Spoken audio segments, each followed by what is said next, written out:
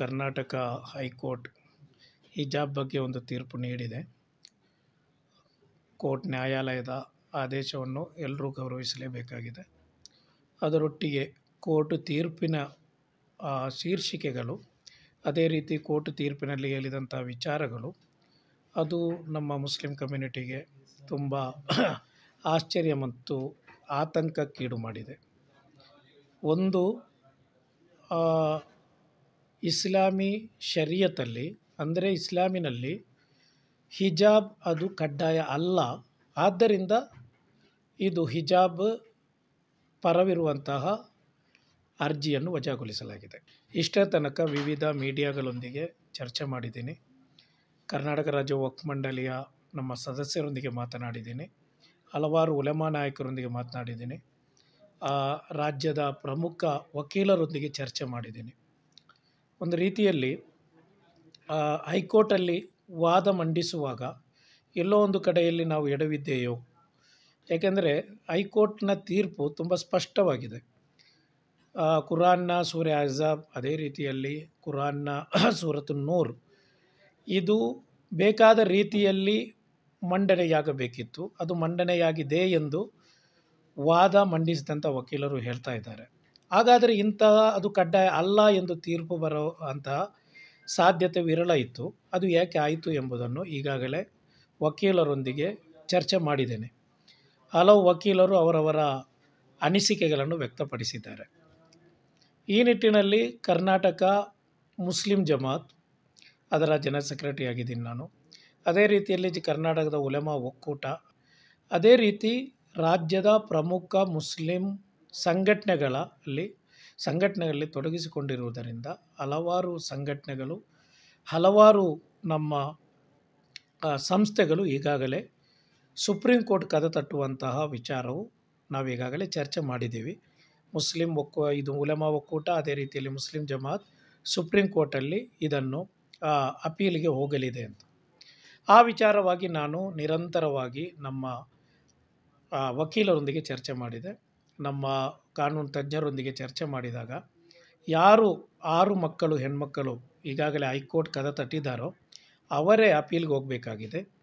ಅದರೊಟ್ಟಿಗೆ ಆ P A L ಯಾರಿಗೂ ಸಲ್ಲಿಸ್ಬೋದು ಆ ಹೆಣ್ಮಕ್ಕಳೇ ಅಲ್ಲಿ ಸುಪ್ರೀಂ ಕೋರ್ಟಿಗೂ ಅಪೀಲ್ ಮಾಡಬೇಕಾದ್ರಿಂದ ಬೇರೆ ಯಾವುದೇ ಸಂಘಟನೆಗಳು ಅಪೀಲ್ ಮಾಡುವಂಗಿಲ್ಲ ಎಂಬ ಒಂದು ಮಾಹಿತಿಯನ್ನು ಕಾನೂನು ತಜ್ಞರು ಕೊಟ್ಟಿದ್ದಾರೆ. ಅದರೊಟ್ಟಿಗೆ ಈ ಜಡ್ಜ್ಮೆಂಟಲ್ಲಿ ಕೆಲವು ಆಶಯಗಳು, ಅದೇ ರೀತಿಯಲ್ಲಿ ಕೆಲವು ಕಡೆಗಳಲ್ಲಿ ಹಲವಾರು ವಿಚಾರಗಳಿವೆ. ಬರೇ ಇದು ಒಂದು ಹಿಜಾಬ್ ಕಡ್ಡಾಯ ಕಡ್ಡಾಯ ಅಲ್ಲ ಎಂಬುದಕ್ಕಿಂತ ಕೆಲವು ವ್ಯಕ್ತಿಗಳ ಉಲ್ಲೇಖಗಳು ಅಲ್ಲಿದೆ. ಪ್ರಮುಖವಾಗಿ ಪವಿತ್ರ ಕುರ್ಆನ್ನ ಸ್ಪಷ್ಟವಾದ ಆದೇಶ ಆಗಿದೆ. ಸೂರತ್ ಅಜಾಬ್ ಐವತ್ತೊಂಬತ್ತನೇ ಸೂಕ್ತ. ಅದೇ ರೀತಿಯಲ್ಲಿ ಸೂರತ್ತು ನೂರಲ್ಲಿ ಮೂವತ್ತೊಂದನೇ ಸೂಕ್ತ ಸ್ಪಷ್ಟವಾಗಿ ಹೇಳಿದೆ, ಹಿಜಾಬ್ ಕಡ್ಡಾಯ ಅಂತ. ಇಸ್ಲಾಮಿನಲ್ಲಿ ನಾಲ್ಕು ಆಧಾರ ಸ್ತಂಭಗಳಿವೆ. ಕುರಾನ್, ಹದೀಸ್, ಇಜ್ಮಾ, ಕಿಯಾಸ್. ಕುರ್ಆನ್ ಪ್ರಮುಖ ಆಧಾರ ಸ್ತಂಭ. ಕುರಾನ್ ಅದು ದಿವ್ಯವಾಣಿ. ಅಲ್ಲಾಹನ ತ್ರಿಕಾಲಾಜ್ಞಾನಿಯಾದಂಥ ಅಲ್ಲಾಹನ ಸಂದೇಶಗಳದು. ಅದು ತುಂಬ ಪ್ರಮುಖವಾದಂಥ ಸ್ಥಾನ ಮುಸಲ್ಮ, ಇಸ್ಲಾಮಿನಲ್ಲಿದೆ. ಆಗಿರುವಾಗ ಪವಿತ್ರ ಕುರ್ಆನ್ನಲ್ಲಿ ಸ್ಪಷ್ಟವಾಗಿ ಉಲ್ಲೇಖ ಇದೆ, ಹಿಜಾಬ್, ಕಡ್ಡಾಯ ಎಂದಿರುವಾಗ ಜಡ್ಜಿಗಳು ಅದು ಉಲ್ಲೇ, ಇದು ಕಡ್ಡಾಯ ಅಲ್ಲ ಎಂದು ಹೇಳೋಕೆ ಕಾರಣವೇನು ಎಂಬುದನ್ನು ನಾವು ಇವತ್ತು ಉಲೆಮಾಗಳೊಂದಿಗೆ ಚರ್ಚೆ ಮಾಡಿದ್ದೀವಿ, ವಕೀಲರೊಂದಿಗೂ ಚರ್ಚೆ ಮಾಡಿದ್ದೀವಿ. ಯಾಕೆಂದರೆ ನಾವು ಮಂಡಿಸುವುದರಲ್ಲಿ, ನಮ್ಮ ವಾದ ಮಂಡಿಸುವುದರಲ್ಲಿ ನಾವು ಎಡವಿದ್ದೆಯೋ, ಅದೇ ರೀತಿಯಲ್ಲಿ ಕೋರ್ಟ್ ಕೋರ್ಟ್ ಮಾಡಿದಂತಹ ಯೂಸುಫ್ ಅಲಿ ಎಂಬ ಒಂದು ವ್ಯಾಖ್ಯಾನಕಾರರ ಅಥವಾ ವ್ಯಾಖ್ಯಾನಕ್ಕೆ ಎಂದು ಹೇಳುವುದಕ್ಕಿಂತ ಕುರ್ಆನ್ನ ತರ್ಜುಮೆ ಮಾಡಿದಂತಹ ಓರ್ವ ತರ್ಜುಮೆಗಾರನ ಬಗ್ಗೆ ಅಲ್ಲಿ ಉಲ್ಲೇಖ ಮಾಡ್ತದೆ. ಅದರ ಬಗ್ಗೆಯೂ ನಾವು ಚರ್ಚೆ ಮಾಡಿದ್ದೀವಿ. ಯಾಕೆಂದರೆ ನಾವು ಇಷ್ಟರ ತನಕ ಆ ಒಂದು ತರ್ಜುಮೆ ನೋಡಿಲ್ಲ. ಇಸ್ಲಾಮಿನಲ್ಲಿ ಕುರ್ಆನ್, ಹದೀಸ್, ಇಜ್ಮಾ, ಕಿಯಾಸ್ ಅದಕ್ಕಿಂತ ದೊಡ್ಡದು ಯಾವುದೂ ಇಲ್ಲ. ಅದರೊಟ್ಟಿಗೆ ಕುರ್ಆನಿಗೆ ಹಲವಾರು ಮಂದಿ ತಫ್ಸೀರ್ ಬರೆದಿದ್ದಾರೆ. ಆ ತಫ್ಸೀರ್ ಆಗಿದೆ ಒಂದು ಹದೀಸ್. ಅದೇ ರೀತಿ ಇಜ್ಮಾ, ಕಿಯಾಸ್ ಅಲ್ಲ ಅದರ ತಫ್ಸೀರೇ. ವ್ಯಾಖ್ಯಾನನೇ ಕುರಾನ್ನ ವ್ಯಾಖ್ಯಾನ. ನಿಮ್ಗೆ ಗೊತ್ತಿರುವ ಹಾಗೆ ನೂರ ಹದಿನಾಲ್ಕು ಅಧ್ಯಾಯಗಳಿವೆ ಕುರಾನಲ್ಲಿ ಮೂವತ್ತು ಪ್ಯಾರಾಗಳಿರುವುದು. ನೀವು ನೋಡಿದಂಗೆ ಇಷ್ಟು ಚಿಕ್ಕದಾದಂಥ ಒಂದು ಗ್ರಂಥ ಅದು, ಕುರಾನ್. ಆ ಕುರಾನ್ನಲ್ಲಿ ಹೇಳುತ್ತದೆ, ಮಾ ಫರ್ರತ್ನ ಫಿಲ್ ಕಿತಾಬಿ ಮಿನ್ ಶೈ ಈ ಪವಿತ್ರ ಕುರಾನ್ನಲ್ಲಿ ನಾವೆಲ್ಲವನ್ನೂ ಅಳವಡಿಸಿದ್ದೇವೆ. ನಿನ್ನೆ ಇತಿಹಾಸಗಳು, ಇವತ್ತಿನ ವರ್ತಮಾನಗಳು, ನಾಳಿನ ಭವಿಷ್ಯತ್ತುಗಳು, ಎಲ್ಲ ವಿಚಾರಗಳು ಈ ಜಗತ್ತಿನಲ್ಲಿ ನಡೆದ, ನಡೆಯಬೇಕಾದ, ನಡೆಯುತ್ತಿರುವಂತಹ ಎಲ್ಲ ವಿಚಾರಗಳನ್ನು ನಾವು ಅಳವಡಿಸಿದ್ದೇವೆ ಅಂತ ಪವಿತ್ರ ಕುರಾನ್ ಹೇಳುತ್ತೆ. ಆವಾಗ ಆ ಪವಿತ್ರ ಕುರ್ಆನನ್ನು ಬೇಕಾದ ರೀತಿಯಲ್ಲಿ ಅರ್ಥ ಮಾಡಿಕೊಳ್ಳಲಿಕ್ಕಿರುವಂತಹ ಒಂದು ತಫ್ಸೀರೇ ಆಗಿದೆ ಪವಿತ್ರ ಬೇಗಮರ್ ಮೊಹಮ್ಮದ್ ಸಲ್ಲಾ ಅಲಿ ವಸಲ್ಲಮರ ಲಕ್ಷಾಂತರ ಹದೀಸ್ಗಳು. ಒಂದು ಕಡೆ ಜಡ್ಜ್ಮೆಂಟ್ನಲ್ಲಿ ಹೇಳುತ್ತೆ, ಕುರ್ಆನೇ ಅದು ಮ್ಯಾಂಡೇಟ್ರಿ ಅಂದರೆ ಕಡ್ಡಾಯಗೊಳಿಸುವುದಿಲ್ಲ ಮತ್ತು ಹದೀಸಿಗೆ ಯಾಕೆ ನಾವು ಹೋಗಬೇಕು? ಕುರ್ಆನ್ ಕಡ್ಡಾಯಗೊಳಿಸದಂಥ ಒಂದು ಕಡೆಯಲ್ಲಿ ಹದೀಸಿಗೆ ನಾವು ಮಾನದಂಡವಾಗಿ ಸ್ವೀಕರಿಸಬಾರ್ದು ಎಂದು ಸ್ವೀಕರಿಸುವುದರಲ್ಲಿ ಅರ್ಥ ಇಲ್ಲ ಎಂದು ಜಡ್ಜ್ಮೆಂಟ್ನ ಒಂದು ಕ ಭಾಗದಲ್ಲಿ ಕಾಣುತ್ತೆ. ಜಡ್ಜ್ಮೆಂಟ್ ಸಂಪೂರ್ಣವಾಗಿ ನಾನು ಓದಿಲ್ಲ. ಕೆಲವು ಕಡೆಗಳಲ್ಲಿ ಅದು ಕಾಣ್ತಾ ಇದೆ. ಅಂದರೆ ಇಸ್ಲಾಮಿನ ಎರಡನೇ ಆಧಾರ ಸ್ತಂಭವನ್ನೇ ಪ್ರಶ್ನಿಸುವಂಥ ಒಂದು ರೀತಿಯಲ್ಲಿ ಅದರಲ್ಲಿ ಕಾಣ್ತಾ ಇದೆ.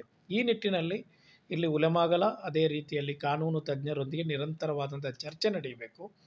ಯಾವ ರೀತಿಯಲ್ಲಿ ಸುಪ್ರೀಂ ಕೋರ್ಟಲ್ಲಿ ಈಗಾಗಲೇ ಆರು ಹೆಣ್ಮಕ್ಕಳು ಹೋಗಿರೋದು. ಇದು ಆರು ಹೆಣ್ಮಕ್ಕಳ ವಿಚಾರ ಅಲ್ಲ. ಅಲ್ಲಿ ಉಡುಪಿಯಲ್ಲಿ ಪ್ರಾರಂಭವಾಗಿದ್ದು ಆರು ಹೆಣ್ಮಕ್ಕಳ ವಿಚಾರ ಆದರೂ ಈಗ ಅದು ಇಡೀ ಮುಸ್ಲಿಂ ಸಮುದಾಯದ ಒಂದು ಶರೀಯತ್ತಿನ ವಿಚಾರವಾಗಿ ಬದಲಾ, ಬದಲಾವಣೆಗೊಂಡಿದೆ. ಹಿಜಾಬ್ ಶರೀಯತ್ನಲ್ಲಿ ಕಟ್ಟ ಒಂದು ಕಡ್ಡಾಯ ಕ್ರಮವಾಗಿದೆ. ಆ ಕಡ್ಡಾಯ ಕ್ರಮವನ್ನು ಅನುಸರಿಸಲು ಇಲ್ಲಿ ಸಂವಿಧಾನಬದ್ಧವಾದಂಥ ಹಕ್ಕು, ಸಂವಿಧಾನ ನಮಗೆ ಕೊಟ್ಟಂಥ ಸ್ವಾತಂತ್ರ್ಯವಾಗಿದೆ, ಆರ್ಟಿಕಲ್ ಟ್ವೆಂಟಿ ಫೈವ್. ಆದ್ದರಿಂದ ಇದನ್ನು ಯಾವ ರೀತಿಯಲ್ಲಿ ನಾವು ಸುಪ್ರೀಂ ಕೋರ್ಟ್ನಲ್ಲಿ ಮಂಡನೆ ಮಾಡಬೇಕು ಎಂಬ ಚರ್ಚೆ ಇವತ್ತು ಇಡೀ ದಿನ ನಾವು ಚರ್ಚೆ ಮಾಡಿದ್ದೇವೆ. ಹಲವಾರು ವಕೀಲರು ಬಂದಿದ್ದಾರೆ. ಇವತ್ತು ಒಂದು ಉಲಮಾ ಆ, ಒಂದು ದೊಡ್ಡ ಒಂದು ಗುಂಪು ಇವತ್ತು ಬಂದಿದೆ. ಈ ಯಾವ ರೀತಿಯಲ್ಲಿ ನಾವು ಸುಪ್ರೀಂ ಕೋರ್ಟಲ್ಲಿ ಇದನ್ನು ಮಂಡಿಸಬೇಕು ಎಂಬುದನ್ನು ನಾವು ಚರ್ಚೆ ಮಾಡ್ತೀವಿ ಒಂದು. ಎರಡನೇದು ನಮ್ಮ ಕಮ್ಯುನಿಟಿಯಲ್ಲಿ ಈಗಾಗಲೇ ನಮ್ಮ ಮಕ್ಕಳು ಈಗ ಸುಪ್ರೀಂ ಕೋರ್ಟ್ ಜಡ್ಜ್ಮೆಂಟ್ ಬರುವ ತನಕ ನಮ್ಮ ಮಕ್ಕಳು ಹೇಗಿರಬೇಕು? ಈಗಾಗಲೇ ಎಲೆಕ್ಷ ಇದು ನಮ್ಮ ಎಕ್ಸಾಮ್ ನಡೀತಾ ಇದೆ. ಎಕ್ಸಾಮಿಗೆ ದಿನ ದಿನಗಳು ಕೆಲವೇ ದಿನಗಳು ಬಾಕಿ ಇರುವಾಗ ಆ ಎಕ್ಸಾಮನ್ನು ಹೇಗೆ ಎದುರಿಸಬೇಕು? ಆ ನಿಟ್ಟಿನಲ್ಲಿ ಏನು ಮಾಡಬೇಕು? ಯಾಕಂದರೆ ಈಗಾಗಲೇ ಸರ್ಕಾರಕ್ಕೆ ಆ, ನಮ್ಮ ಜಡ್ಜ್ಮೆಂಟಲ್ಲಿ ಸರ್ಕಾರಕ್ಕೆ ಒಂದು ಆಪ್ಷನ್ನು ಕೊಟ್ಟಿದ್ದಾರೆ. ಆದ್ದರಿಂದ ಸರ್ಕಾರದೊಂದಿಗೆ ನಮ್ಮ ರಾಜಕೀಯ ಮುಸ್ಲಿಂ ನಾಯಕರು ಅದೇ ರೀತಿಯಲ್ಲಿ ಉಲಮಾಗಳು ವಕೀಲರುಗಳನ್ನೆಲ್ಲ ಸೇರಿಸಿ ಒಗ್ಬೋರ್ಡ್ ಸರ್ಕಾರದೊಂದಿಗೆ ಏನು ಮನವಿ ಸಲ್ಲಿಸಬೇಕು, ಆ ನಿಟ್ಟಿನಲ್ಲೂ ನಾವು ಚರ್ಚೆ ಮಾಡಿದ್ದೇವೆ.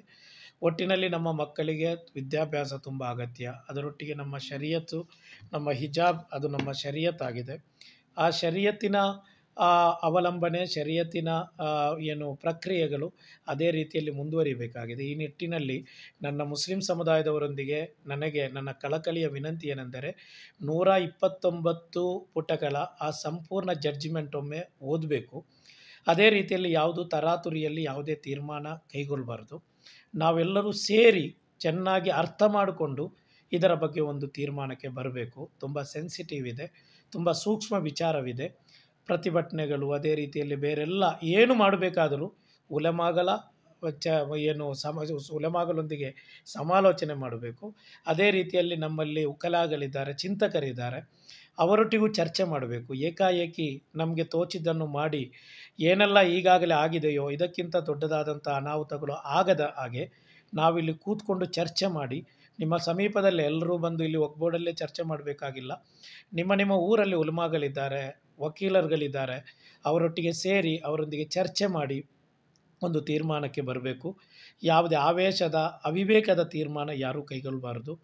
ತುಂಬ ಕಾನೂನಾತ್ಮಕವಾಗಿ ಏನೆಲ್ಲ ಮುಂದುವರಿಬೇಕು ಇಂದ ಕಾನೂನು ನಮಗೆ ಸಂವಿಧಾನಬದ್ಧವಾಗಿ ಕಾನೂನಿನ ಹೋರಾಟ ನಮ್ಮ ಮುಂದಿದೆ. ಅದು ಹೇಗೆ ಮಾಡಬೇಕೆಂದು ನಾವು ತುಂಬ ಆಲೋಚನೆ ಮಾಡಿ ಮುಂದೆ ಹೋಗಬೇಕು ನಾವು. ಯಾವ ಹಂತದಲ್ಲೂ ನಾವು ಕಾನೂನನ್ನು ಕೈಗೆತ್ತಿಕೊಳ್ಳುವ ಅಥವಾ ಅಶಾಂತಿ ಸೃಷ್ಟಿ ಮಾಡುವಂಥ ಒಂದು ವ್ಯಕ್ತಿಗಳು ನಾವಾಗಬಾರ್ದು. ಪವಿತ್ರ ಕುರಾನ್ ಆದೇಶ, ನಬಿ ಸಲ್ಲಲ್ಲಾಹು ಅಲೈಹಿ ವಸಲ್ಲಂ ಬೇಗಂಬರ್ ಸಲ್ಲಲ್ಲಾಹು ಅಲಿ ವಸಲ್ಲಮರವರ ಆದೇಶವೂ ಅದಾಗಿದೆ ಶಾಂತಿ ಮತ್ತು ಸಮಾಧಾನ, ಸಹಬಾಳ್ವೆ, ಸಹಿಷ್ಣುತೆ, ಇದು ಯಾವತ್ತೂ ಹಿಂದೂ ಮುಸಲ್ಮಾನರ ಇಡೆಯಲ್ಲಿರುವಂಥ ಸಮಸ್ಯೆ ಅಲ್ಲವೇ ಅಲ್ಲ. ಇದು ಬರೇ ಸಂವಿಧಾನ ಮತ್ತು ಶರೀಯತ್ತಿನಡೆಯಲ್ಲಿ ಸಾವಿರದ ಒಂಬೈನೂರ ಎಂಬತ್ತೈದರಲ್ಲಿ ಶಾಬಾನು ಕೇಸು ಬಂತು, ನಂತರ ಸಾಯಿರಾಬಾನು ಕೇಸು ಬಂತು, ಎಲ್ಲ ಬಂದಿದೆ. ಆಗಿರುವಾಗ ಅದರಲ್ಲಿ ನಮಗೆ ತುಂಬ ಪಾಠಗಳು ಇವೆ. ಆದ್ದರಿಂದ ಪಾಠಗಳಿಂದ, ಇತಿಹಾಸದ ಪಾಠಗಳಿಂದ ನಾವು ಪಾಠ ಕಲಿತುಕೊಂಡು ಮುಂದೆ ಹೆಜ್ಜೆ ಇಡುವಾಗ ಆಲೋಚನೆ ಮಾಡಿ ಉಲೆಮಾಗಲೊಂದಿಗೆ ಅದೇ ರೀತಿಯಲ್ಲಿ ಸಮುದಾಯದ ಚಿಂತಕರೊಂದಿಗೆ ಚರ್ಚೆ ಮಾಡಿ ಮುಂದಡಿ ಇಡಬೇಕೆಂದು ಕಲಕಲಿಯಾಗಿ ವಿನಂತಿಸ್ತಾ ಇದ್ದೇನೆ. ಈಗಾಗಲೇ ಮುಸ್ಲಿಂ ಜಮಾತ್ ಈ ವಿಚಾರವಾಗಿ ಹಲವು ಚರ್ಚೆಗಳು ಮುಸ್ಲಿಂ ಜಮಾತರ ರಾಜ್ಯ ಸಮಿತಿ ಈಗಾಗಲೇ ಚರ್ಚೆ ಮಾಡ್ತಾ ಇದೆ. ಹಲವು ಮುಸ್ಲಿಂ ಸಂಘಟನೆಗಳ ಸಂಘಟನೆಗಳ ನಾಯಕರೊಂದಿಗೆ ಚರ್ಚೆ ಮಾಡಿ ಮುಸ್ಲಿಂ ಜಮಾತು ಯಾವ ರೀತಿಯಲ್ಲಿ ಇದನ್ನು ಕಾನೂನು ರೀತಿಯಲ್ಲಿ ಚರ್ಚೆ ಮಾಡಬೇಕು ಆ ಚರ್ಚೆ